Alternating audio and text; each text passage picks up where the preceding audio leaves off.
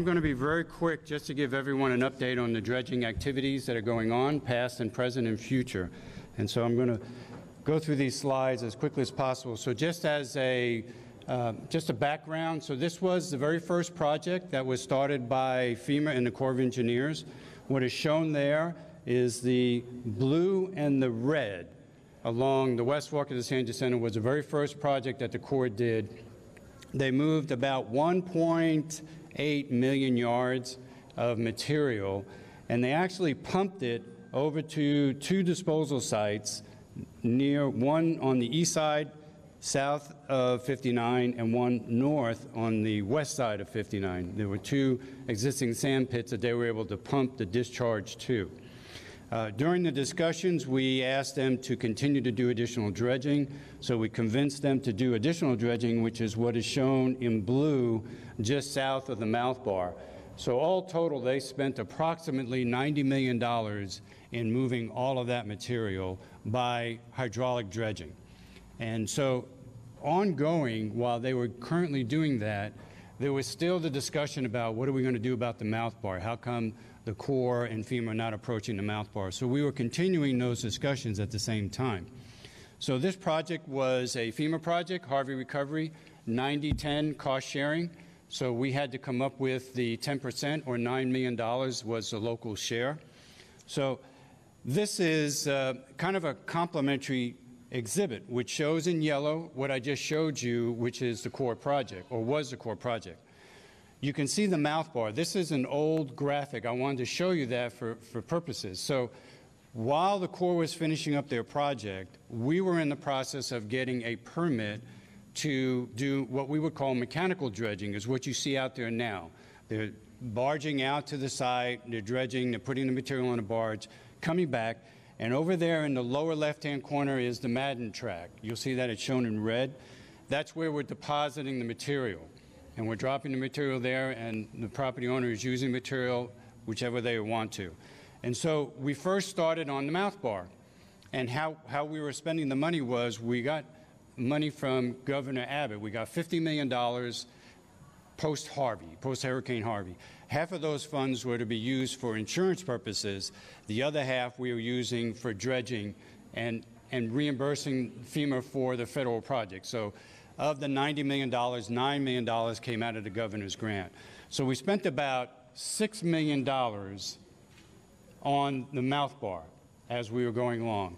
And then you fast forward to the 86th legislative session, and that is uh, in 2019 when Representative Huberty was successful in getting added to the appropriations $30 million for local dredging.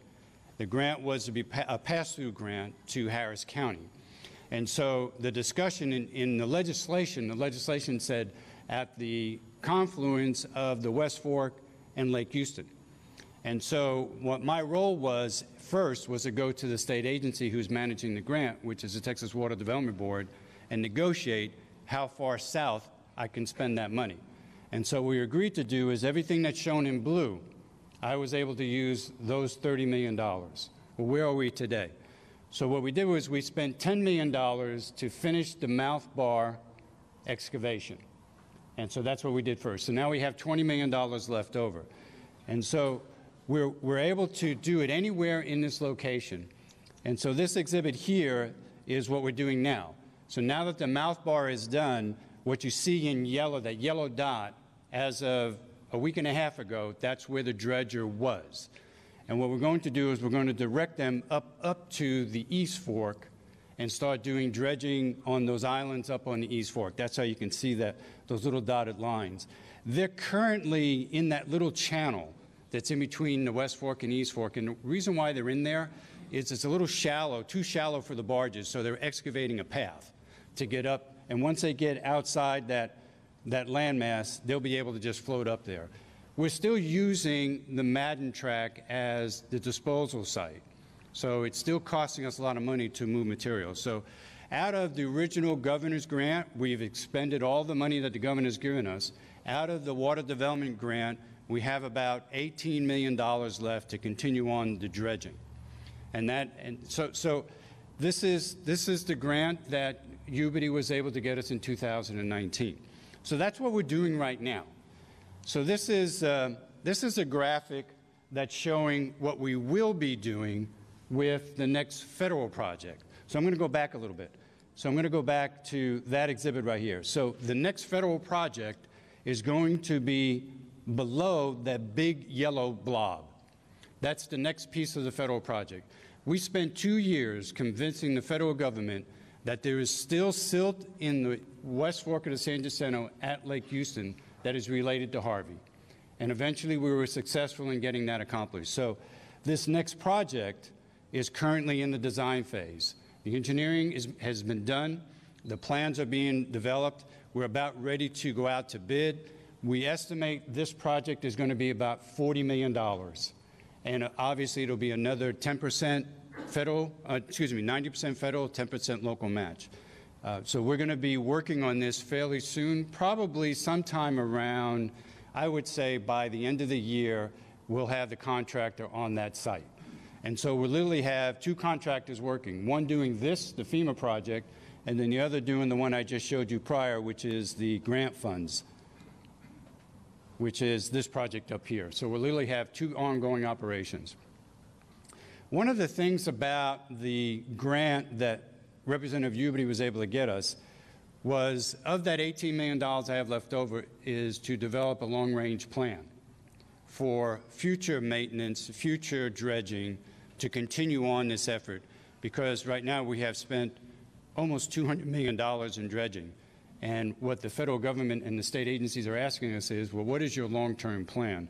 So we're going to be developing a long-term plan for the entire lake and the West Fork and the East Fork for future drainage maintenance and dredging.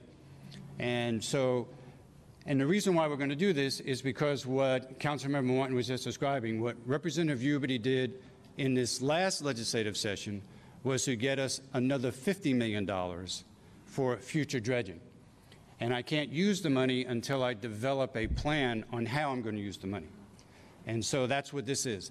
But what you see here are a series of little dots there. They're actually locations of the canals that access the lake. So part of the long-range plan is to help to excavate out some of those canals for maintaining access for the property owners there. Now, I have reached out to each one of the homeowners associations that are supposed to own and maintain those canals. And so over the next six weeks, I will be coordinating with them to figure out how we're going to do this, whether or not I have the right of entry, uh, are they going to participate in the cost? If not, is it okay? Can I use the grant, grant funds? So those are the issues that we're going to be dealing with in the long range plan. The other is I can't do mechanical dredging forever. And I can't just use one site. Otherwise, I'll be spending, I'll be wasting money. So we either have to do several things. We either have to look for sites that I can deposit soil on around the lake somewhere where there's undeveloped property, or come up with a fairly comprehensive hydraulic dredging plan. Well, what does that mean? Well, what it means is you buy pipes and you lay them permanently in the lake, and you only use them when you're going to do the dredging. And then you access these pits that the Corps had used previously. And so there's a, that's part of the long-range plan. Uh, we have a scope of work that we're ready to send out on the street. We anticipate hiring a consultant within the next 60 days to start to develop a long-range plan. And my commitment to Representative Huberty is before I ask for the access to $50 million, I will have a long-range plan developed that everyone in the community will know what our plan is and, that when, and we'll get it accepted and we'll move on. So that's sort of a quick summary of all the dredging that's been going on. Uh, what I did do is I put together this chart. This is the investment that I was just describing earlier of how much money we have invested post-Hurricane Harvey for dredging. And what's not included in there is another $10 million that I'm currently negotiating with Harris County Flood Control District as part of their bond program. If you go back and look at their bond program, they have $10 million set aside for Lake Houston dredging. So this is a significant investment in the dredging. And that's why the federal government and the state agencies are saying, if we're giving you all this money, we want to know and understand what your future plan is and where you're going from here. So I'm going to stop. This is all about Lake Houston Dam, but uh, Councilmember Martin wanted me to come up and just give you a brief overview of this. I'll stay here for the rest of the meeting, and if anyone has any questions later on, be happy to answer any questions. The PowerPoint is at the council member's office, so if you want the PowerPoint of the slides, be happy to make that available to anybody. Thank you.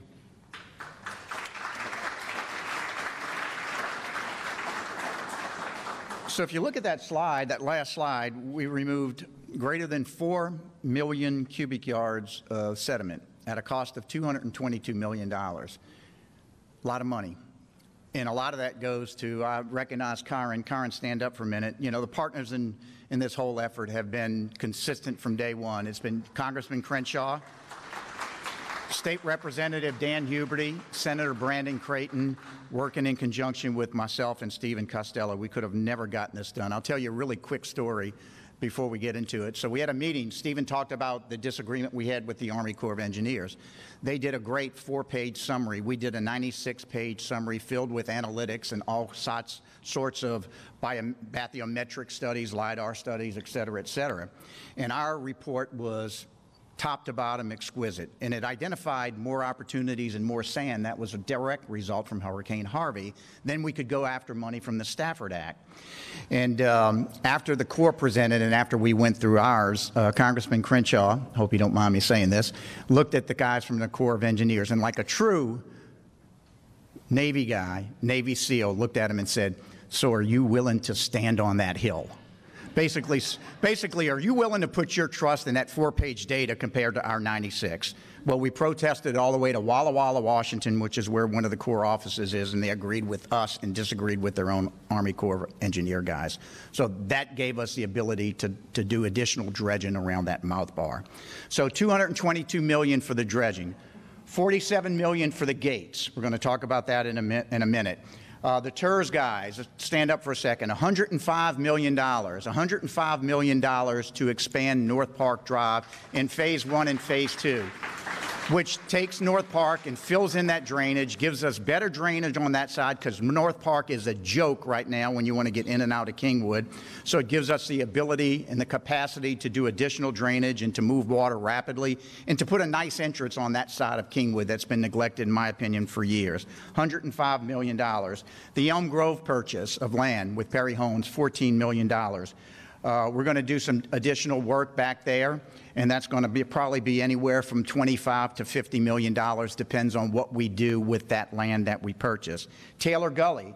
Uh, Taylor Gully is undergoing right now as we speak. That's another $20 million.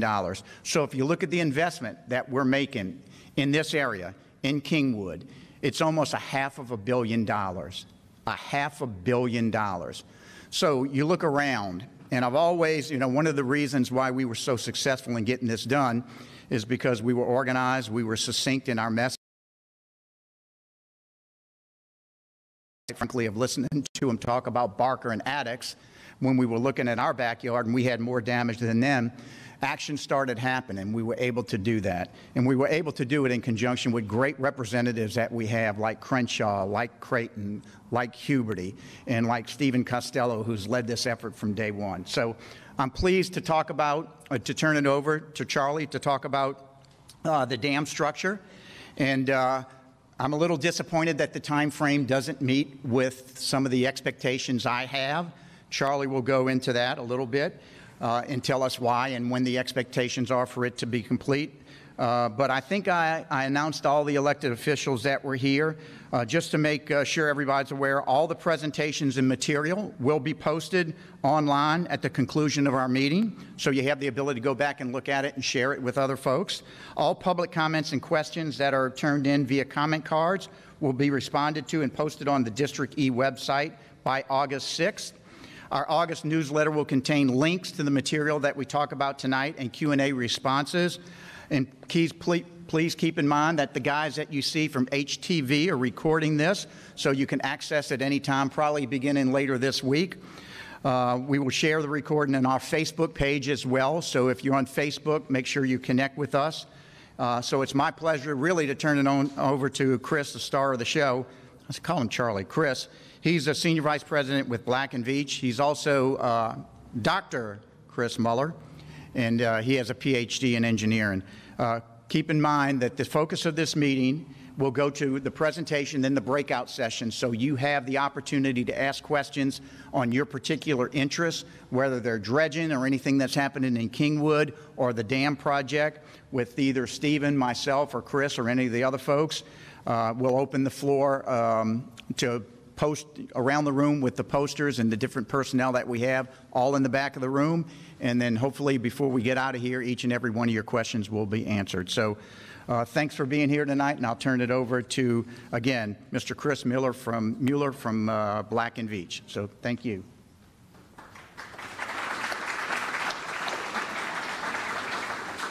And uh, thank you, Dave. I actually like the name Charlie quite a lot.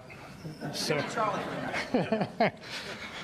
but uh, in any event, uh, welcome everyone, and uh, thanks for taking time to, to be here this evening for uh, an important update on the Lake Houston Dam Spillway Improvement Project.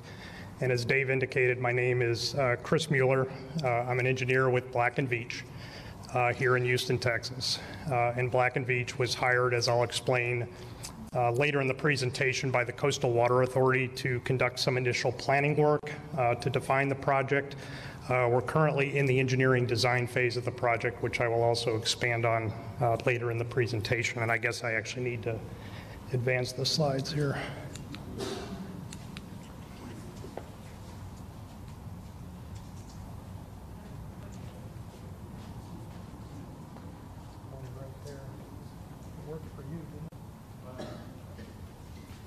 Make sure I don't, did I hit, hit enter?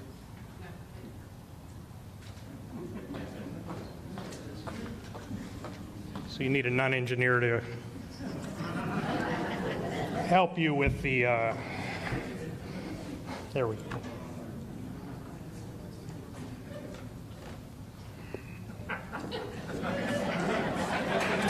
There we go. You want to go ahead and advance to the next slide? Yep, so what I'm going to do this evening is um, provide an update on the project, um, and specifically the work that we've performed for the last uh, 15 months, as well as the work that we expect to do uh, in the look forward. Um, I'll start with the purpose and need for the project, which you're all uh, familiar with, uh, and focus more significantly on the constraints um, that has guided the development of the concepts that we'll present to you uh, later this evening.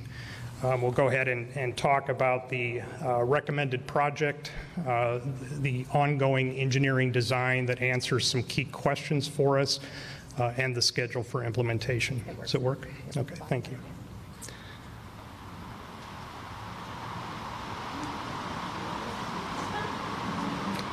Good timing. So I'll have to talk a little louder. Hopefully, everybody can hear me. Um, What what I want to do at the start is, is make a couple of key points. Um, And the first point that I want to make is that you have a lot of people and organizations working very hard for you to get you a project at Lake Houston that helps reduce flood risk in Kingwood and the adjacent communities. And so I want to acknowledge the City of Houston, uh, who owns uh, the reservoir and the facilities at Lake Houston, uh, the Coastal Water Authority, who operates those facilities under agreement with the city, and Harris County Flood Control District. I further want to acknowledge the Federal Emergency Management Agency and Texas Division of Emergency Management, all of whom are working very hard uh, to contribute in some manner to the success of this project. I also want to take a moment to talk a little bit about the schedule uh, for the project, if you will. And again, I'll continue to talk louder. If someone is having a hard time hearing me, please raise your hand. Is there a way to turn the volume up on the? Is this a little better? Is that better? Okay. So the other point I wanted to make before I get into the presentation this evening concerns the schedule uh, for the project. Um, We're all aware, as as you are, we just entered another hurricane season, how critically important it is to get this facility built and into service so that it helps reduce flood risk in this community. Okay? And we have, as I'll explain, consequential to the planning exercise we conducted last year, gone through a process to make sure that schedule was appropriately considered when we made a recommendation on a preferred project, if you will. This is a complex project in no uncertain terms. You have an old dam that dates back to the early 1950s, and with due respect to anyone whose birth date extends back that far, this dam is getting to the end of its useful life. I'm, I'm pretty close myself, believe it or not. So, in any case, we've had a lot of thoughtful consideration put into how do we modify this particular facility and maintain, if not improve, safety of a facility that's getting to the end of its useful life. The other point about schedule that I want to make is this. The, as a complex project and one that requires we comply with the National Environmental Protection Act, engaging federal resource agencies like the Galveston District of the Corps of Engineers, these projects take time to negotiate and to develop mitigation for where mitigation is required. David Miller and Don Ripley have been working for the last 10 to 15 years on the Luce Bayou Interbasin Transfer Project. 10 to 15 years is a normal time frame for complex projects where there's need for significant environmental mitigation.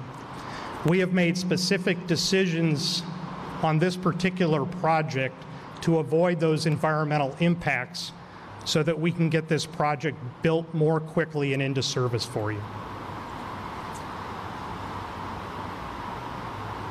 So with respect to the uh, purpose and need for the project, again, you're, you're familiar with what our objectives here are.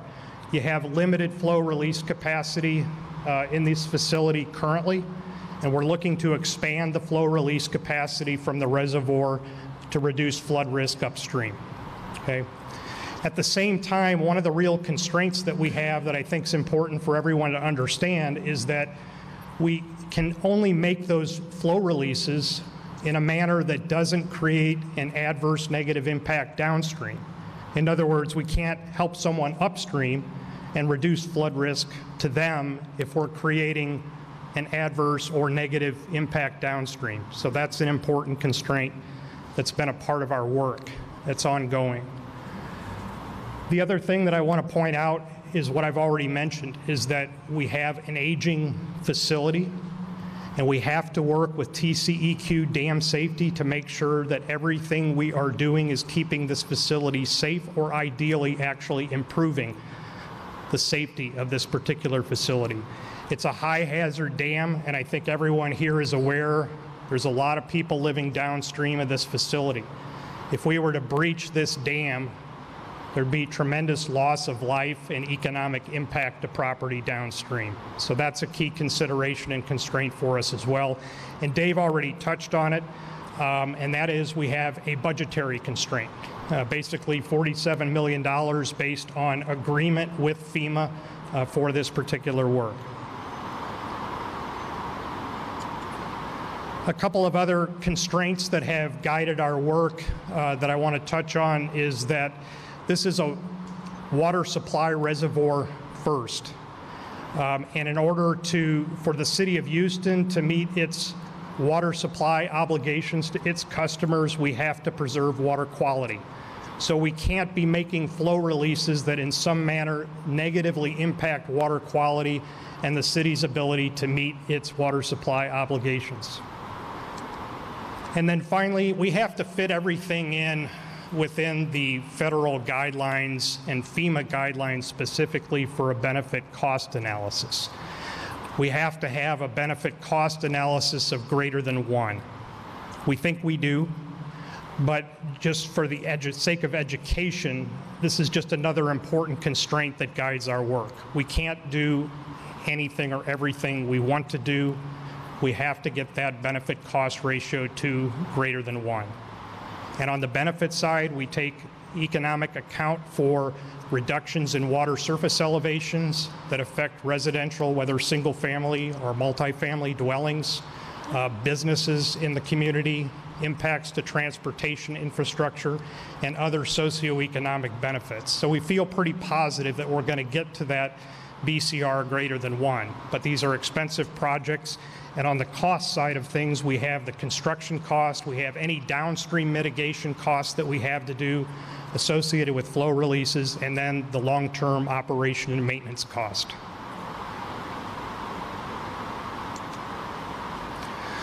So back in April of uh, 2020, Black and Veatch was hired, and our member or sub-consultants working with us, their logos are shown there on the slide. We were hired to conduct a planning or pre-feasibility study for the Lake Houston Dam Spillway Improvement Project. On the front end of that, the city had already secured uh, funding for that work through the Hazard Mitigation Grant Program and their negotiations with FEMA. That's what's supporting the planning and the engineering that's ongoing. Our work was to ultimately conduct engineering and environmental analyses to develop a range of alternatives for the flow releases and to screen and evaluate those alternatives on the basis of cost and non-cost factors and to recommend a project uh, to the city and to Coastal Water Authority for the modifications at Lake Houston. And we did that and completed that work in March of this year, about 11 months, a very aggressive schedule for a study of that type.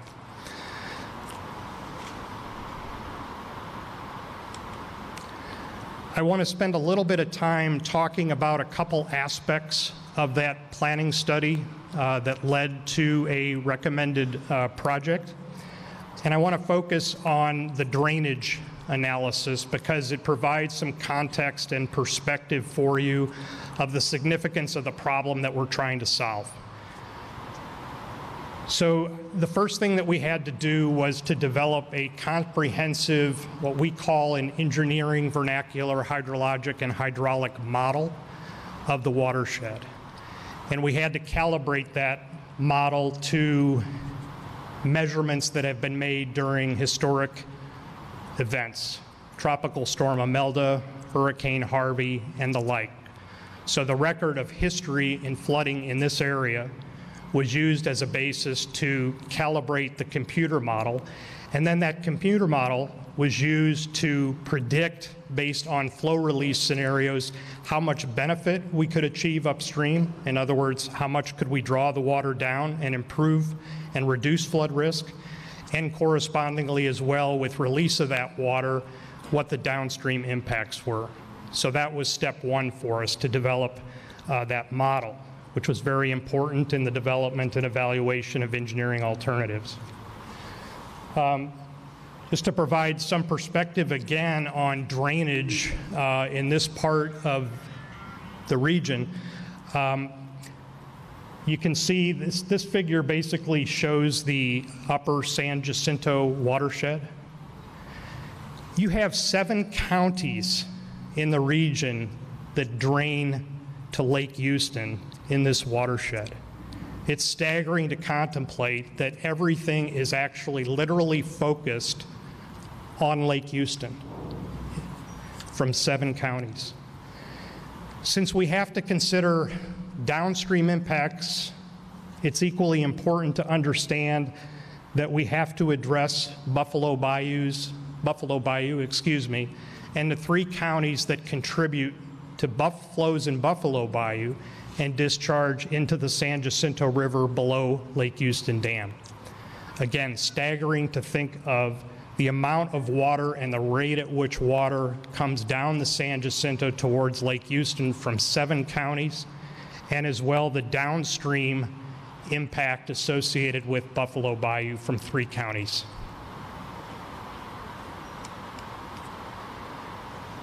And to put this in a little bit further context, our, our target for you has been what we refer to as a 100 year storm.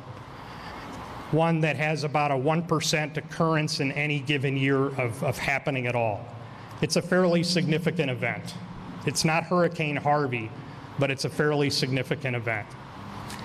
And again, I just did this for perspective, um, but the number won't mean that much to you just on its own. But for a 100-year storm, you have about 285,000 cubic feet per second moving towards Lake Houston from the upper San Jacinto watershed. And again, that number may not mean all that much, but to put it in better context, if you think about the Houston Astrodome, for those that are familiar with the Houston Astrodome, hopefully everyone is, takes three minutes during a storm like that to fill the Houston Astrodome once. And over a 24-hour period, the Houston Astrodome would fill about 500 times. It's a tremendous amount of water, and it's moving at you very, very quickly. It's significant. So what we have, what we have done, and I'll, I'll come back to um, the, the engineering alternative that, that addresses this, but with the modeling and uh, the release of flow from the proposed uh, gate structure at Lake Houston that we'll touch on later in the presentation, we're able to release close to four times the amount of water that the current facilities are able to release in a controlled manner. So it's going to be a significant increase uh, in Coastal Water Authority's ability to release water from the reservoir. As I say, almost four times. And we're still working on refining things, but that's a ballpark number, three to four times the current flow release capacity. What the drainage analysis informs is that we are able to provide a significant benefit around the reservoir rim. That would be the kind of the dark colored green area on the slide there.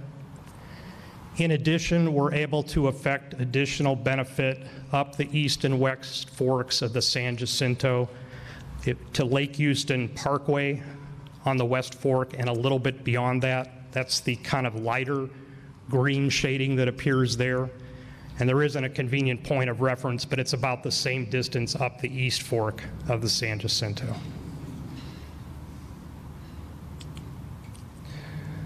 So in terms of the engineering analysis and development of alternatives, these were all largely variations of a common theme uh, involving Tainter gates and crest gates at various locations, both within the footprint of the existing dam as well as outside it.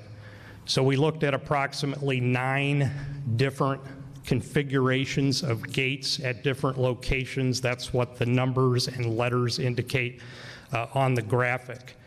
Now, I will tell you, because I don't think I mentioned it elsewhere, we would have actually really liked to have placed this new structure in the earth embankment section of this dam, which is the part of the dam that's over on the northeast side, if you will. Um, And the reason for that is just that it's less complex, more straightforward, a little bit easier to do that. The reason that we did not is because the environmental conditions over on that side of the site are significant and challenging and would have, based on our consultation with the Corps, likely triggered an environmental impact statement for our project.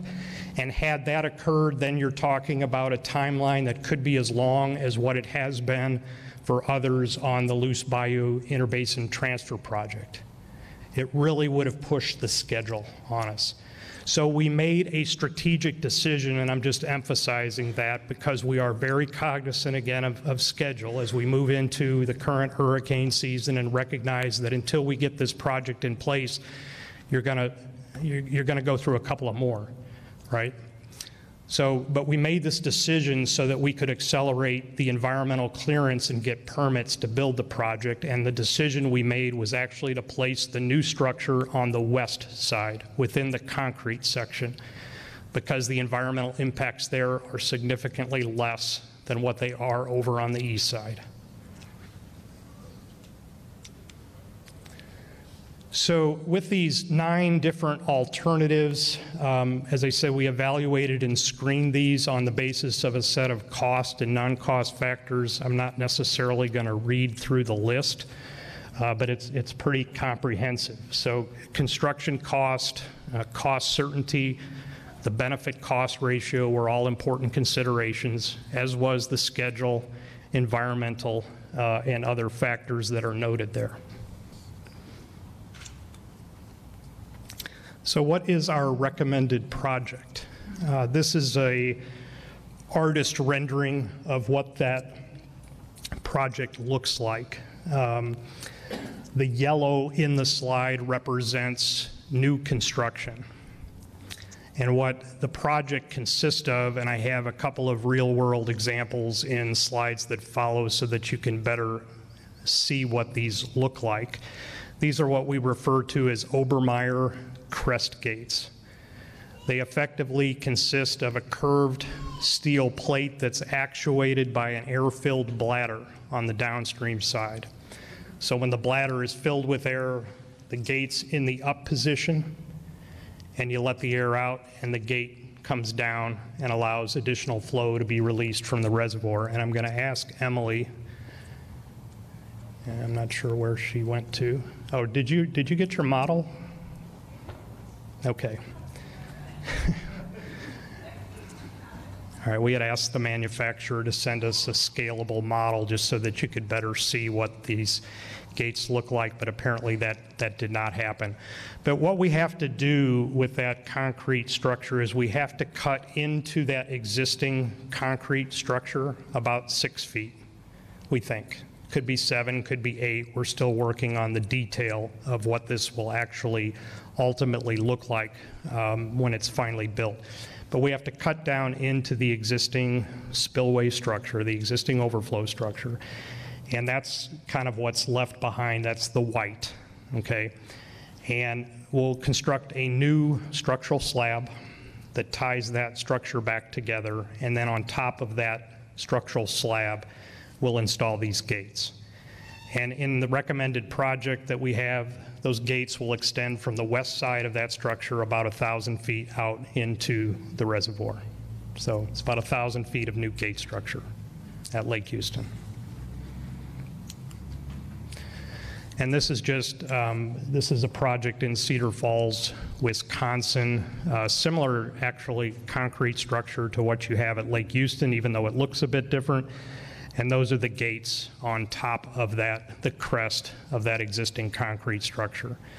And in this particular case, those gates are closed. So the bladder is full of air, and you can see the bladder on the downstream side of that structure with the curved steel plate that's on the upstream side.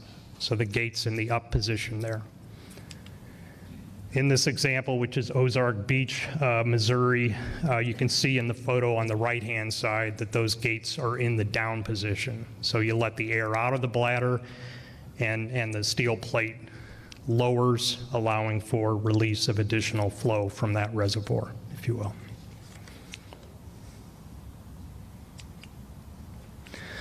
So when we finished with the planning study, which again we completed this past March, uh, in April we were authorized to proceed with the preliminary and detailed design engineering for the recommended project, but we did have a number of key questions, key unknowns, things that we needed to address in the engineering phase that had not been addressed in the planning, and those are listed there. Um, One of the most significant is that given the age of the existing concrete structure or the dam itself dating back to the early 1950s, um, we have to take great care with respect to the demolition and with respect to the new construction, that is the slab and the installation of the gates. Um, This structure is uh, built to basically perform in compression. It's concrete. Concrete likes compression, does not necessarily like to be pulled apart, does not like tension, in other words. Back in the 1950s, they didn't use a whole lot of steel reinforcement to increase the tensile capacity, so we're developing a detailed structural model to simulate what we will do during construction to make sure that that existing structure is braced and protected while the new construction, the new gates are installed. So that's a key question for us. Um, We still have key questions on the hydraulics, uh, if you will. We're still running iterations, uh, gates of different widths, different heights. So there could be some changes there, really to optimize the benefit that we can achieve upstream with the gate operations, and/or to reduce downstream impact. We do see a little bit of downstream impact right now. It's pretty limited up near the dam itself, which is good, uh, but we've got some work to do to optimize and refine the operations and the configuration of the gates so that we get the most benefit upstream while not creating uh, the downstream impact. So those are a couple things that we're working on currently that I presume we will provide an update uh, to you later in the year on. And I'm just going to close before we open it up uh, to, to question and answers with, with the schedule. Um, So as you can see here, um, you know, we're currently in July of, of '21. Um, We're not due to, the critical path will go through the environmental clearance and permitting. Um, We will not complete the design uh, for about 12 months. And then the authorization, that is completing the environmental clearance and having permits ready for construction will be a couple months to three months after that time. So we will and do intend to bid an award uh, at the tail of having the permits in hand uh, to build the project. That would be, um, you know, end of next summer into early fall, um, with construction expected to start on the Gates project uh, towards the end of next year. And then, based on our current understanding and approach and sequencing, we're looking at about 18 months to two years to build the Gates project that we've proposed.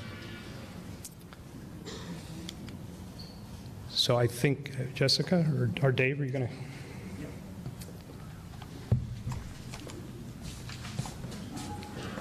So for the ribbon cutting ceremony, I won't be your council member, which disappoints me.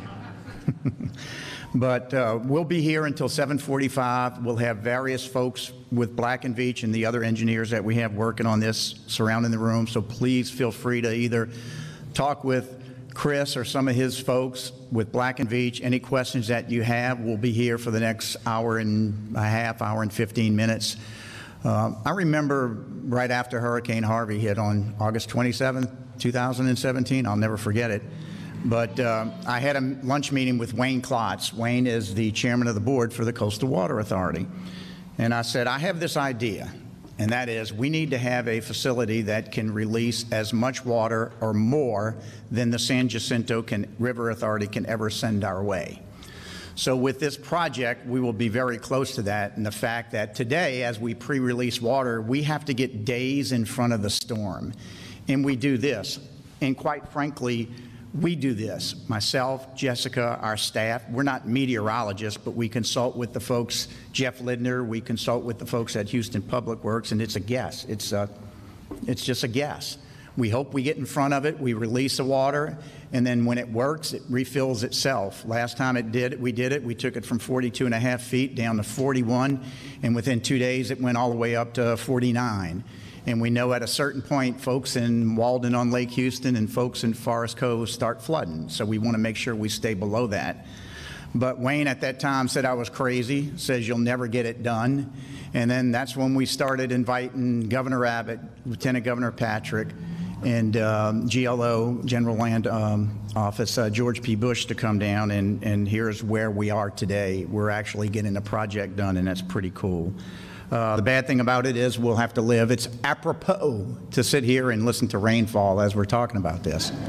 I think it's, it's apropos and it's very ironic. So um, we'll have the ability to do that. The unfortunate thing is we're going to have to live through three hurricane seasons, and we hope that the good Lord continues to bless us the way He has uh, over the last couple of years so that we stay away from it. But uh, rest assured, we're keeping on track of it. Presently, we can release one foot of water in 24 hours.